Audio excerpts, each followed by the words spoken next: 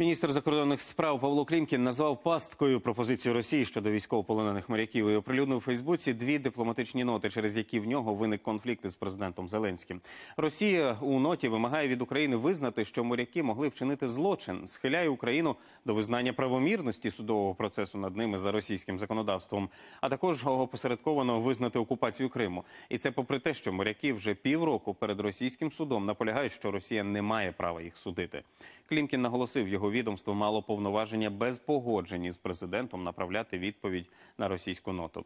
Нагадаю, напередодні Зеленський звинуватив МЗС та особисто Клімкіна у тому, що міністерство не комунікує з ним у питанні звільнення українських моряків.